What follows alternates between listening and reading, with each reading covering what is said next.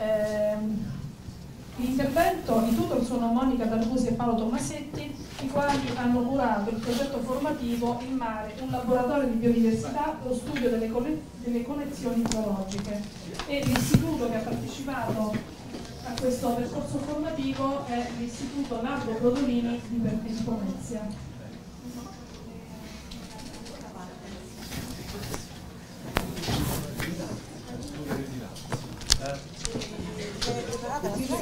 In questo senso. Ah, quindi prima posso rubare la scena due minuti? Pronto? Sì. Mentre loro si organizzano, buonasera. Sono il tutor interno all'istituto eh, tecnico Largo Brodolini di Pomezia. Siamo a Pomezia nel polo industriale. Passate ragazzi. Urca. Se no io parlo inutilmente. Siamo a Pomezia, nel polo industriale chimico-farmaceutico.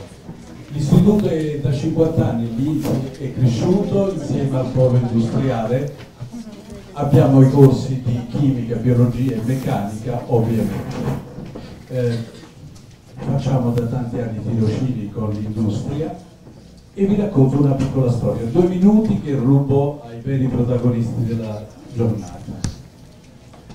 Siamo vicinissimi ai laboratori dell'ISPRA, ex APAT, di Castelromano e da anni abbiamo tentato più volte di riuscire a fare tirocini presso questa struttura. In tutti i modi, partendo dalla uh, signora delle pulizie, madre di un'alunna, corrompendo un uh, direttore di servizio qui all'ISPRA, non ci siamo riusciti, mai ci hanno detto non avete l'età, non avete la sicurezza, non avete la formazione, non siete universitari, non hanno risposto e quindi avevamo messo il cuore in pace.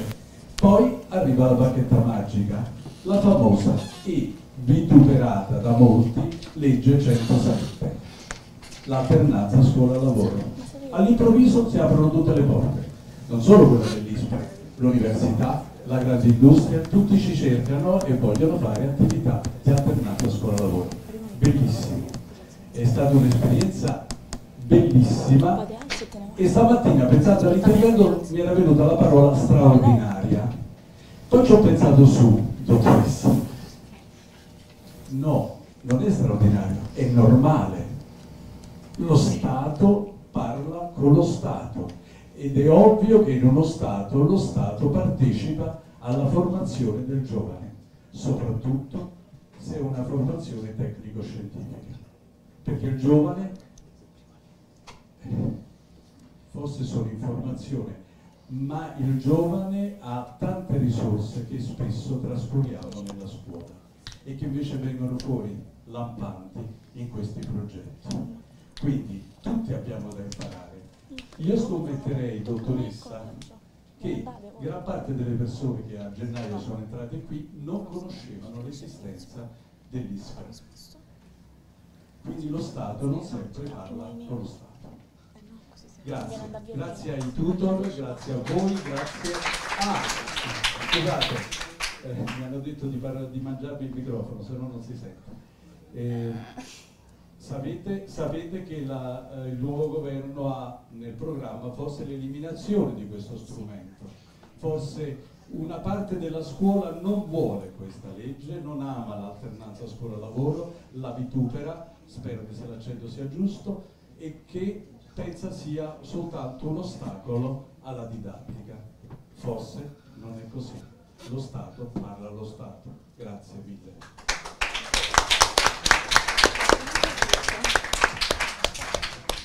buongiorno a tutti, io volevo solamente presentare un po' i ragazzi della scuola, ringraziare molto i professori, il professor Bonpresa e il professor Rizzo che ci hanno aiutato, ci hanno aiutato tantissimo nel gestire il progetto e anche di, eh, a, a, lavorare con i ragazzi perché noi facciamo un altro lavoro, quindi non è detto poi che riusciamo subito a entrare in sintonia con loro.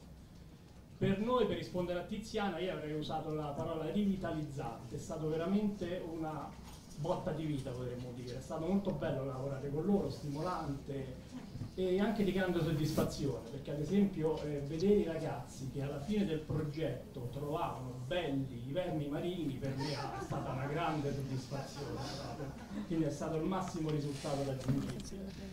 Ringrazio molto i ragazzi che sono stati veramente molto bravi, ripeto, stimolanti, rivitalizzanti e anche professionalmente molto eh, entusiasti e desiderosi di approcciarsi a questa nuova materia per loro l'hanno fatto nel migliore dei modi, adesso vedrete con la presentazione i risultati, mi raccomando.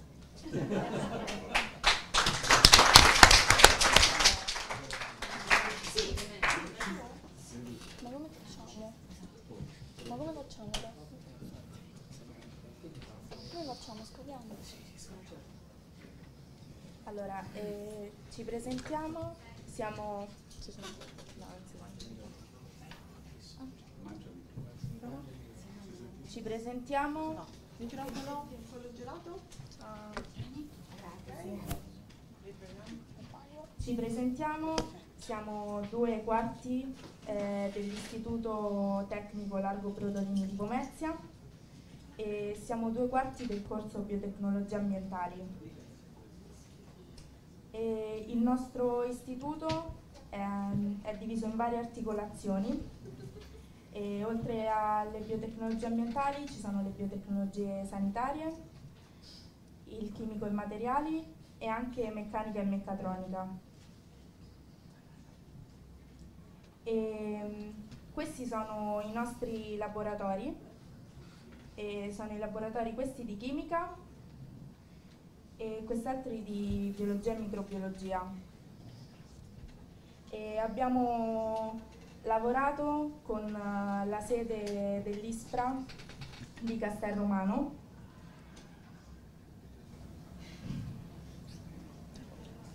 e i nostri obiettivi sono quelli di entrare in contatto con gli organismi marini, imparare le, i metodi per il loro riconoscimento, e catalogarli ed identificarli e conservarli.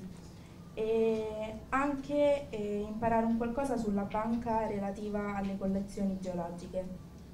Zoologiche, scusate. Vai. Allora, il Bentos è la categoria ecologica che comprende gli organismi acquatici, sia marini che di acqua dolce, che vivono fissati o in stretto contatto con un substrato solido e sono indicatori ambientali in quanto danno informazioni precise sullo stato ecologico dell'ambiente. E, inoltre eh, il loro studio è molto importante per il monitoraggio del, dell'ambiente marino poiché rendono evidenti le modifiche che avvengono nel, nell'ambiente in presenza di fattori esterni. E sono raramente mobili e perciò eh, questo aumenta la probabilità di una loro esposizione a fattori di stress esterni e, mm, e quindi sono ottimi indicatori locali di perturbazione. Allora, sono presente. Sono presenti, sono presenti varie fasi, sono presenti varie fasi prima di arrivare a quello che mm, è il nostro, quello che abbiamo fatto noi nei laboratori. È presente il campionamento che viene o da immersione o da imbarcazione, il quale quello da immersione è normalmente, se molto semplicemente un sub che quindi va a prelevare mm, il campione manualmente. Se parliamo invece di imbarcazione è presente questo strumento, la benna, eh, sì, la benna il quale mm, eh, l'unico difetto sarebbe quello delle, delle varie fuoriuscite, delle perdite superficiali. In tutti e due i casi avviene un filtraggio eh, che elimina quindi le impurità superficiali. E dopodiché quindi viene messo tutto in un contenitore, il contenitore dove è presente il conservante, cioè la formalina, che mh, fa sì che non ci sia la comunicazione tra le proteine, in modo tale che gli organismi quindi non denaturino. Eh, quindi ci deve essere poi, quando è il momento dell'analisi, ci deve essere l'eliminazione del, del, conservante, il quale avviene attraverso un imbuto molto semplicemente, e dopodiché quello che rimane, quindi il campione, viene messo in un setaccio con dell'acqua a bassa pressione in modo tale che gli organismi non vengano eh, distrutti. E, um, dopodiché quindi si mettono tutti in una vaschetta dove con dell'acqua e si fa quello che è lo smistamento. Avviene prima però un'identificazione da un punto di vista mag- macroscopico, quindi vedendo quello che è l'ambiente, quelli che sono, se sono presenti varie alghe o fibre rosse, e poi da un punto di vista microscopico, quindi dividendo tutte in quattro capsule dove si dividono quindi a seconda di quelli che sono i vari filum.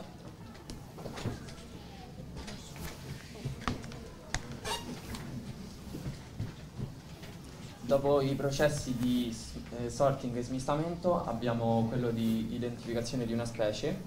E il primo eh, passaggio per questa identificazione è l'osservazione microscopica del campione che abbiamo. E, mh, dopodiché andiamo a eh, utilizzare delle chiavi dicotomiche presenti su eh, delle pubblicazioni eh, scientifiche specializzate. E, ehm, fatto ciò tentiamo di dare eh, un nome alla specie confrontando eh, le immagini presenti su queste pubblicazioni con eh, il nostro campione reale. E, ehm, eh, per l'identificazione eh, questi campioni vengono divisi in quattro gruppi chiamati taxon, ehm, composti da molluschi, eh, policheti, echinodermi e mm, crostacei. I molluschi appartengono al filum dei mollusca e comprendono circa 110.000 specie. Eh, I policheti appartengono alla classe degli eh, anellidi e comprendono circa 13.000 specie. Eh, gli echinodermi appartengono al filum degli echinodermata e comprendono circa 6.000 specie, mentre i crostacei appartengono al filum degli artropoda e comprendono circa 50.000 specie.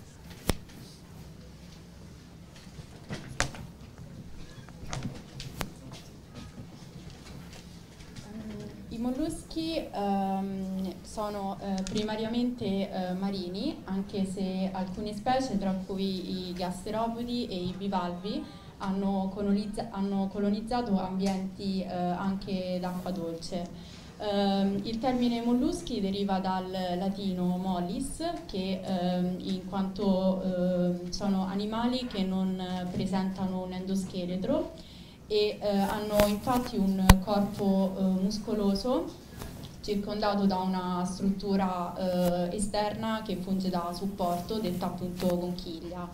Eh, il loro corpo è suddiviso in capo e tronco. Eh, il tronco è ehm, formato da un muscolo ventrale, detto chiamato piede, che serve per la locomozione. E esternamente invece è presente un mantello che circonda la conchiglia eh, calcarea e ehm, la struttura eh, boccale invece è costituita da, una, da, piccoli dentelli che servono appunto per triturare il cibo e eh, questa tipica struttura è detta radula. E inoltre eh, nelle seguenti slide potete eh, vedere i diversi molluschi che abbiamo eh, identificato e abbiamo eh, attribuito a ciascuno il genere e la specie.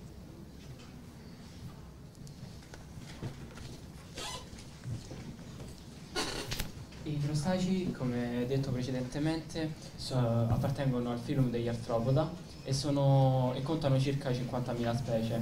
Il loro corpo è racchiuso in un esoscheletro che uh, in un esoscheletro che comprende, è diviso in tre parti, il corpo, l'addome, il torace e il capo. Uh, il gruppo più famoso dei, dei, crostacei è appunto come quello che vedete in foto il, il, gruppo dei decapodi.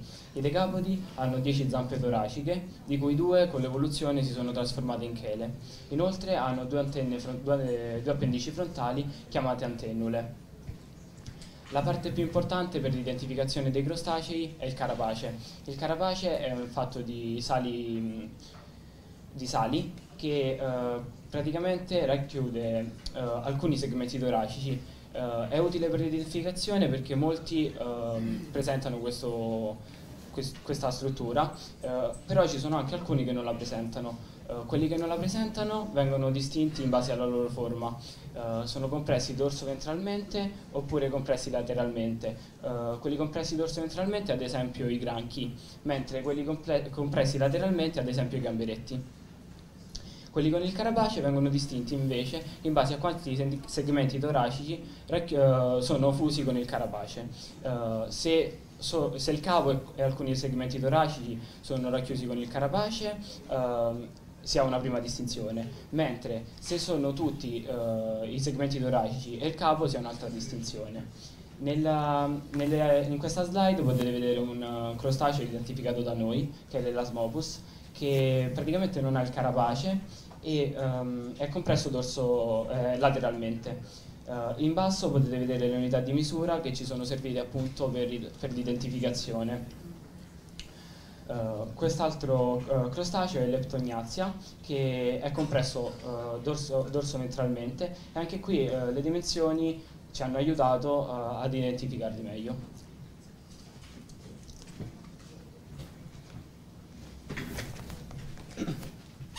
In seguito abbiamo i policheti che come abbiamo già detto comprendono circa 13.000 specie e sono degli esseri metamerici, cioè che hanno tutti dei segmenti che comprendono due appendici che sono detti parapodi. Il loro corpo è diviso in quattro parti, il prostomio, il peristomio, il tronco e il pigidio, di cui il prostomio e il peristomio compongono il capo, eh, in cui... Um, compongono il capo, in cui nel prostomio possiamo riconoscere gli occhi e nel peristomio l'eventuale bocca se estroflessa. Uh, uh, I policheti possono essere divisi in erranti e sedentari. I policheti erranti sono coloro che si muovono liberamente nel territorio, mentre quelli sedentari sono coloro che vivono all'interno di strutture chiamate tubi che, che costruiscono loro stessi. E, e all'interno di questi tubi i policheti riescono a muoversi grazie ai parapodi che grazie al movimento del corpo eh, si attaccano e quindi garantiscono movimento. In seguito abbiamo dei, dei, dei policheti che siamo riusciti a identificare noi, come per esempio le, l'eunicide, che è uno dei policheti più semplici identificati. Poi abbiamo dei vermicani sotto, che sono dei policheti più grandi rispetto agli altri e non li abbiamo identificati noi perché erano già presenti all'interno del laboratorio ISPRA. In quest'altra slide abbiamo esclusivamente policheti identificati da noi, come per esempio il fillodocide che, eh, in cui si possono notare i due occhi e la bocca estroflessa e si possono identificare bene i segmenti ben distinti e i parapodi. Poi abbiamo il sillide in cui si possono riconoscere molto bene i quattro occhi, il terebellide in cui sono mostrati molti tentacoli eh, sulla punta del capo e poi abbiamo il polinoide in cui possiamo rivedere i due occhi e una bocca che non è presente perché è introflessa.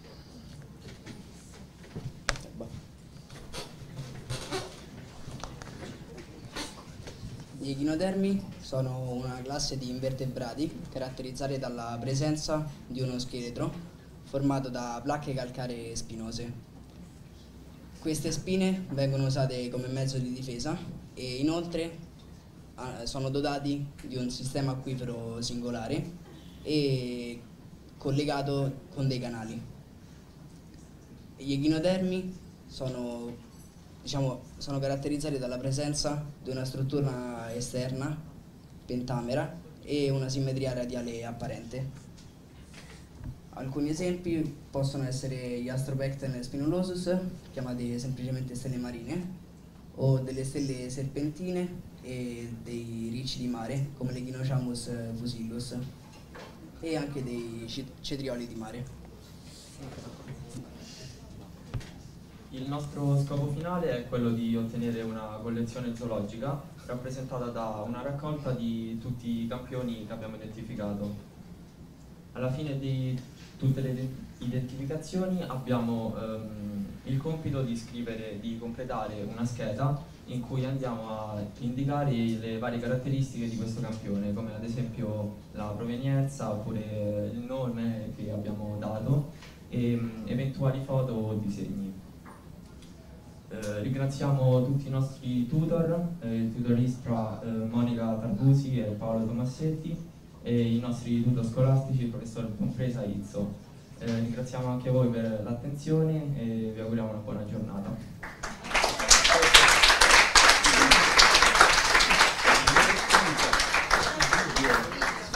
Una piccola introduzione.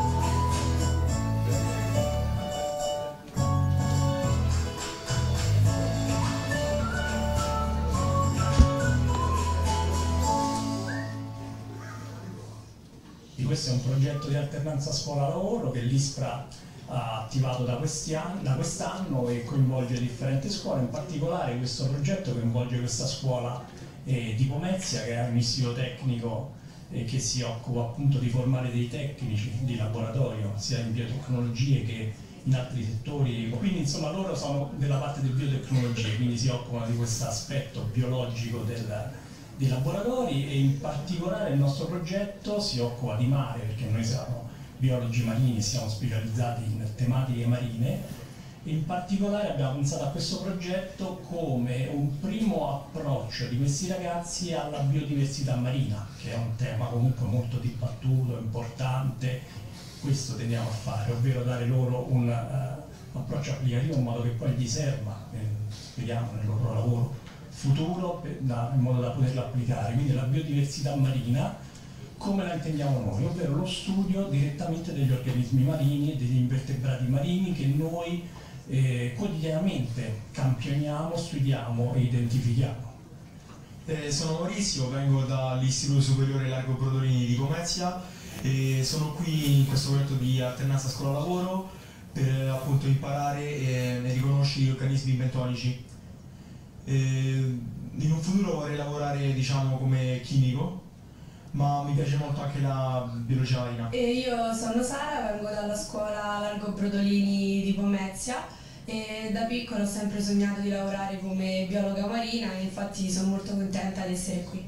Oggi penso osserveremo al microscopio i diversi organismi che Paolo prima ci ha spiegato. Sono Federico Tridici, vengo dall'Istituto Largo Brodolini di Pomezia e sono molto contento di essere stato scelto per fare questo stage di alternanza scuola-lavoro e mi piacerebbe lavorare come biologo marino. Eh, ciao, sono Angelo Ferriero dell'Istituto Largo Brodolini di Pomezia e sono molto felice di essere qui e anche molto interessato a questo corso di alternanza scuola-lavoro perché in un futuro vorrei diventare un biologo marino. Come mai vuoi diventare un biologo marino? Perché adoro, cioè mi piace molto l'ambiente marino e quindi anche tutta la biodiversità che c'è nel mare. Loro oggi hanno già cominciato la volta scorsa e continuano ad osservare al microscopio divisi in gruppi eh, gli organismi marini, quindi noi siamo partiti da un campione che abbiamo realmente raccolto in mare, è stato lavato, sciacquato, è stato sottoposto a poi a smistamento da loro stessi, ovvero che fanno? All'interno del campione loro separano direttamente gli organismi che trovano per la successiva identificazione a livello di specie.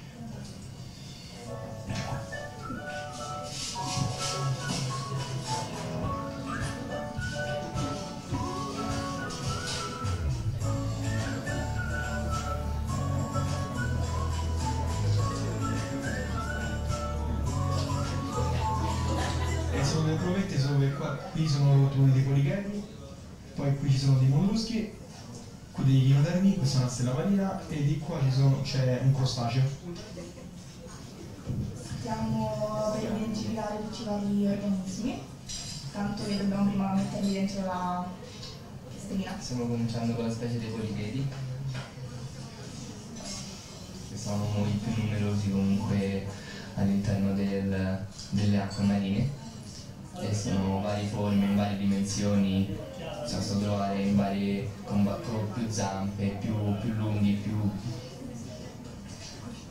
più verti, piccoli, scusa un po'. Quindi loro sono stati molto bravi, hanno riconosciuto gli organismi principali che c'erano all'interno e adesso con eh, l'aiuto anche degli altri ricercatori riusciamo ad andare avanti e arrivare fino al livello di specie, con, eh, sempre facendoli lavorare al microscopio e facendo una sessione qui con la telecamera che gli consente poi di vedere tutti quanti gli, eh, i caratteri che vogliamo fargli vedere. Quindi facciamo un'anteprima di come sono fatti i pulmini.